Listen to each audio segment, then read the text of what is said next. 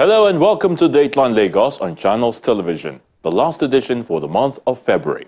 I'm Ayotunde Balogun.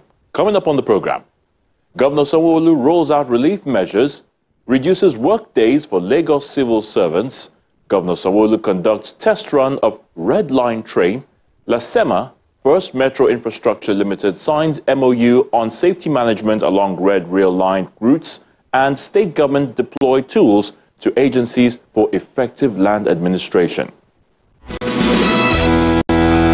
The Lagos State Governor Babajide Sanwo-Olu has announced sweeping interventions which the state will be implementing in order to reduce the effect of the current economic hardship on its citizens.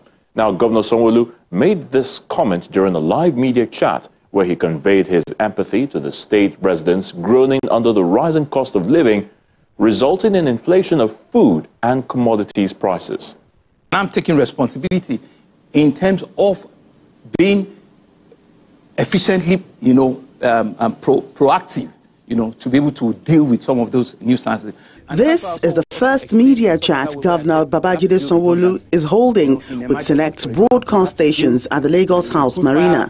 Can we even be creative and have a flexible working hour? The Lagos State Governor begins by addressing the economic challenges, especially high cost of living as it affects many residents of the state. He reels out his plans to tackle the situation. Civil servants from level 0, from 1 to 14, will come to the office maximum three times a week, right? Not that any form of government will be shut down, it will be all calendarized and it will be on schedule. Levels 15 to 17 will miss work a day what are we seeking to achieve?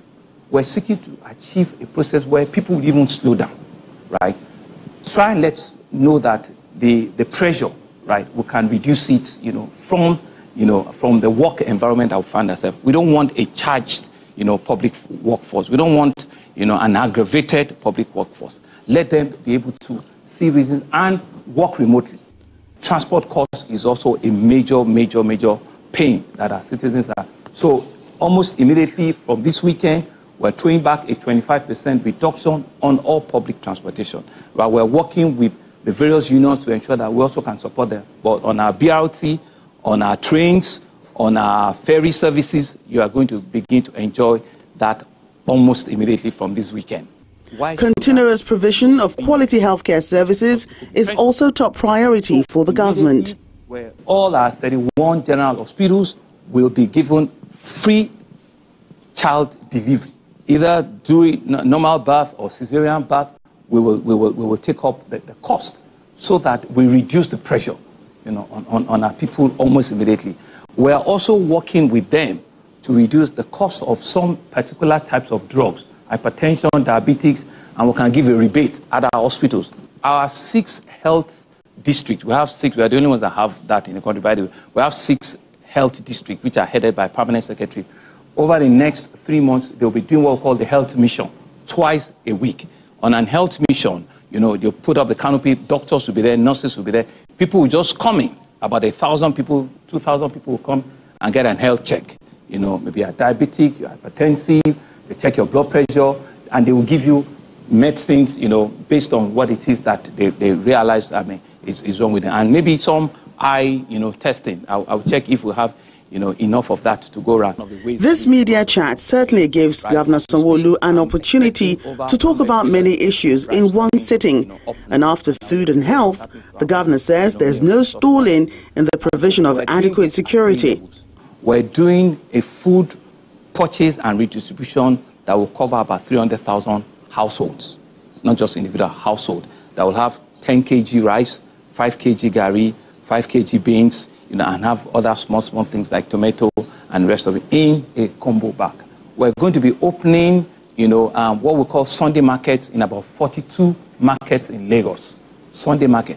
What you would see in that in, in those markets, you know, is the same sort of like, you know, stable, you know, food item. But this time, you'll be buying, but you'll be buying at a reduced cost. We're going to cap what you can buy at not more than 25,000 I'll be giving you a 25% rebate immediately there. You know, so we have started that at our middle market in Iduro, which you have all seen, but we're taking it to 42 identified markets in Lagos. So that Sunday market will happen for the next five, four, five Sundays, and we'll continue to review. So we will make all the logistics available, all the food items will be at this. We're working with the local government, with the leaders of the market. We've identified and we'll publish, you know, all these things. That's the second level. The third level will be that we are now going to do what we call, you know, the, the, the soup bowl, the, the, soup kitchen. We did it also during COVID. We want to identify uh, mama put, you know, um, um, um, um, um, caterers that are in, in your do, and we want to be able to feed between a thousand, a thousand five hundred in every local government per day, you know, at the first instance for the next, you know, 30 to 60 days. Um, if they give approval for state police today, I have 10,000 men that I can further train and get them ready, you know, to, and these are people that know the entire community. He also announces three working days for civil servants from level 0 to 14, while levels 15 to 17 are to resume at their duty posts four days in a week. And teachers will continue to work five days to educate future leaders in Lagos State.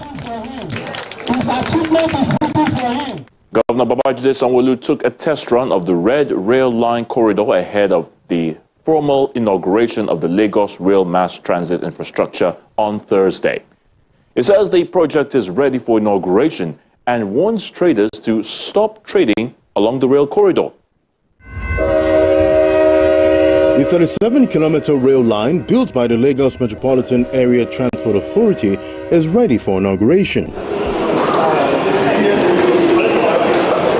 Governor Babajide Sanwo-Olu, his deputy Kadri Hamzat, the managing director of Lagos Metropolitan Area Transport Authority, some state executive council members and the Lagos State Environmental Sanitation Enforcement Agency are out to inspect the infrastructure facilities of the Red Line station. The team embarked on a train ride from the Ikeja Mega Station, viewing Agbado, Agege and Iju stations while on the test drive.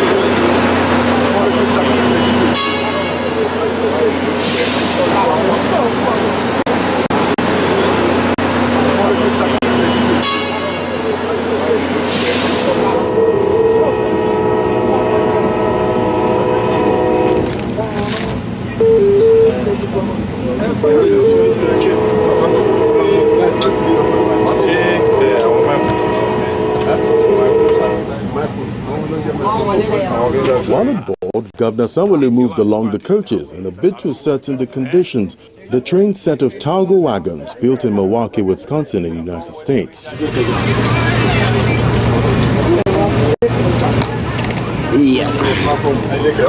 Governor Sanwo-Olu returned to Ikeja train station within 15 minutes and says the project is ready for commissioning.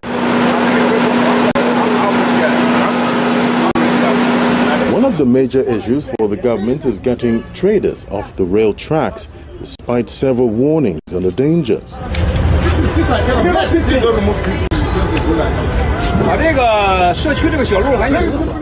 We've had a journey all the way to Iju and back, and I think um, um, you as journalists can better um, re report what you saw.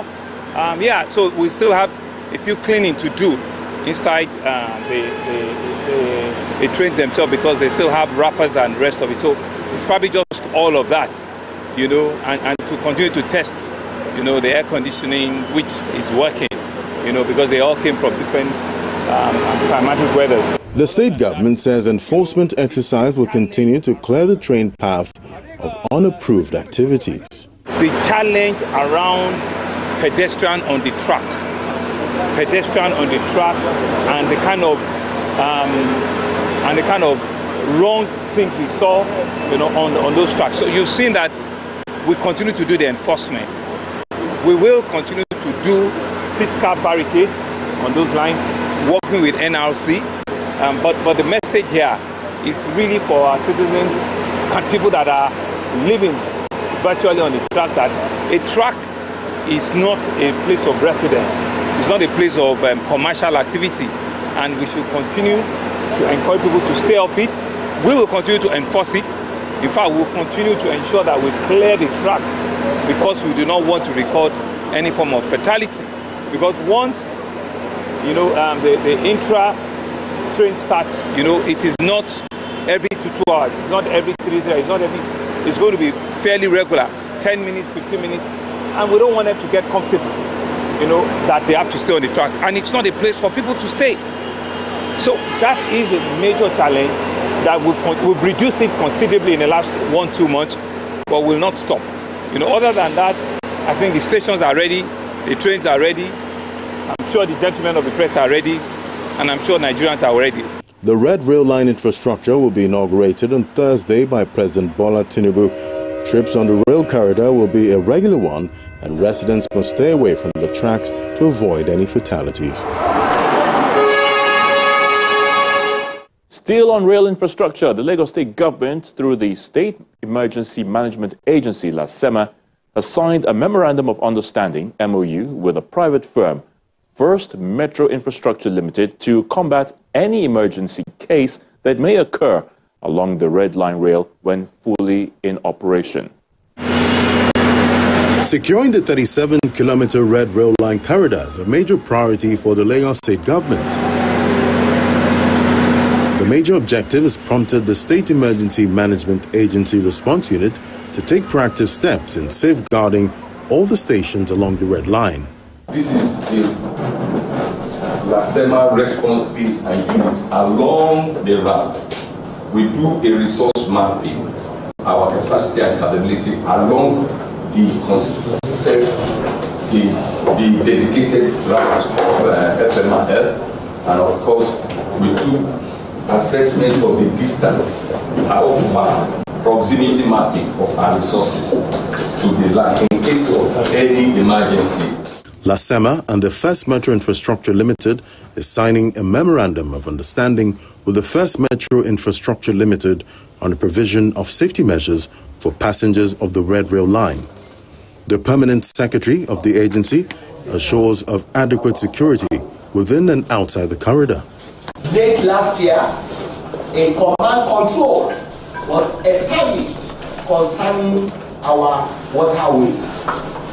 Today, we are partnering with a first reputable organization that is in charge of the red line. A train services that will commence from Agbado station and we end in Ido station. We have built their capacity in terms of safety management. We have done risk analysis, resource mapping around these roads. Believe me, we've moved the red line from the terrestrial area we've moved it to our command control.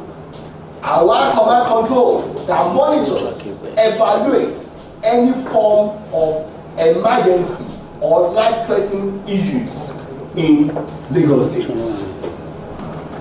In our command control, we have all the first responders institute. Also, we have about seven bases around the state and we will monitor the red line in such a way that people, good people of Lagos State, will have confidence in the establishment, will have confidence in the system, will, will have confidence that as part of their safety, as part of life-threatening issues, we will be there, both medical, surgical. We have positioned our search and rescue along the line in a strategic way. The Chief Operating Officer of First Metro Infrastructure Limited, Mr. Adedeji Adeyinka, says risk assessment mapping has been carried out on the rail line to ensure optimal services for the people.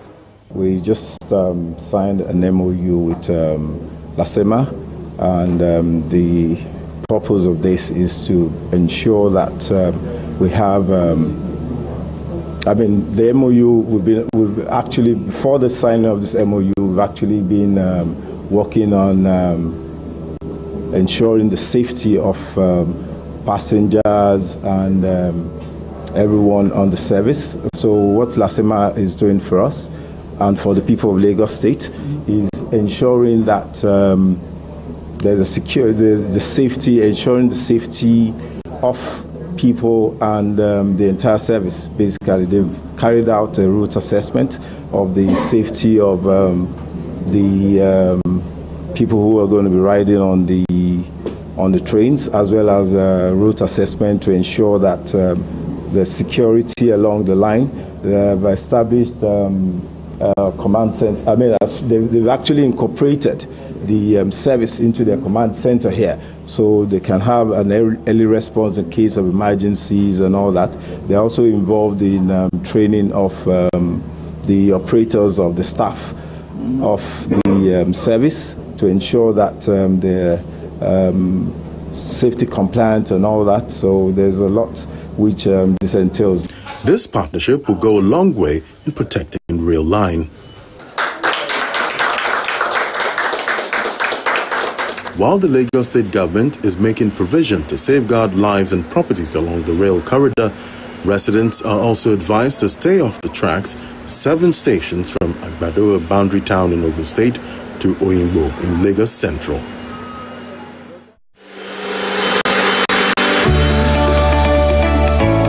Lagosians, it is no news that the present administration of Mr. Governor Babajide Sanwo-Olu delivered projects in different sectors of the economy through the themes agenda. With this success in mind, the second term of the present administration has included social inclusion, gender equality, and the affairs of youths in its agenda. Now, we have the Themes Plus agenda. With this, no one is left behind on account of their social status, gender, or age. Lagosians, be prepared for another four years of a total revamp in all sectors. Ìgbéga ìpínlẹ̀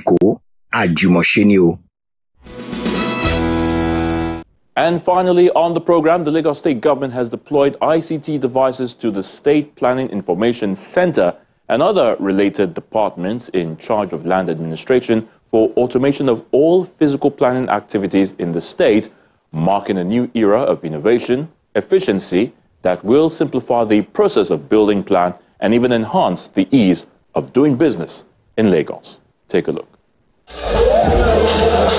The Electronic Physical Planning Processing Center, Alausa Ikeja, is a venue for the presentation of ICT working tools to officials of the state government who monitor the effective land administration in Lagos State. Staff of the Physical Planning and Automation Department, as well as officials of the State Planning Information Center in the Ministry of Physical Planning and Urban Development, are here to pick up their electronic devices for the automation of all physical planning activities that will make land processing seamless in the state. With these tools at our disposal, we are poised to revolutionize our approach to urban planning from the, you know, from digital platforms for streamlined processes to geospatial technologies for informed decision making. Each tool represents a step forward in our quest for enhanced performance and service delivery. Uh, before now, all we do has been largely uh, paper-based, a lot of approval processes, commissioner, SAPS, before the client gets a simple CTC. CTC documents are supposed to have been stored in the digital archive somewhere that people can access easily. And a structure had already been put in place whereby LASPIC and fiscal planning uh, department are now fused together. I mean, so PPAD, as it is known now, is a huge database of information for planning approval, state government projects, because every, every ministry that is involved in uh, uh, project implementation ought to you know, submit their as-built drawings to PPAD now. So anybody all over the state has a right or has the means and opportunity to, right from the comfort of their living room or bedroom, communicate with uh, PPAD and get information on anything. Uh, LASPIC is a working tool but PPAD is a larger picture that we should be looking at. This is just one step of the many steps of our digitalization process. Our department was created in line with the Lagos Themes Plus agenda, a visionary initiative aimed to, at transforming Lagos into a 21st century economy. Today, we take a significant step towards realizing this vision as we embrace these new tools and technologies. As we embark on transition toward becoming a smart city, we understand that change is inevitable. I encourage everyone to welcome this change and imbibe the new innovation that promise to make physical planning activities seamless and efficient. These advancements are not just technology, they are about improving the lives of the people of Lagos State. These advancements are not just about technology, they are about improving the lives of the people of Lagos State. They are about making our city more livable, more sustainable, and more resilient. The State Commissioner for Physical Planning and Urban Development says the automation system will make things easier and urged the personnel in charge not to compromise while carrying out their duties. What we uh, stand to achieve with this automation is to make uh, things easy because that is exactly where the whole world is facing now.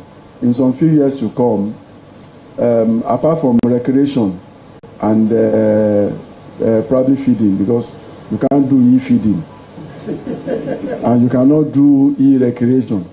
You want to watch film, you have to be there yourself. You want to exercise in the gym, you have to do it yourself. E cannot do that. So apart from those two, virtually every other thing will be on e-platform. However, the key thing standing out there is uh, the human factor out of it. We are still going to have some human uh, factor, human element. Some few human beings will still sit down to ensure that it works. And that is where the challenge is.